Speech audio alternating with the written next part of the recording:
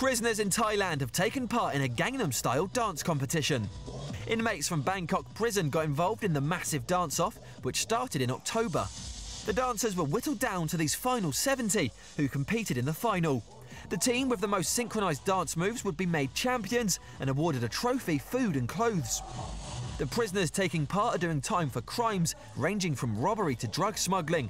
Anyone thinking they're getting an easy ride in prison doing dance competitions? Think about this. They've been dancing and listening to Gangnam Style since October, which is surely more a torture than a treat. Eventually, these movers were announced as victors and awarded the much coveted trophy.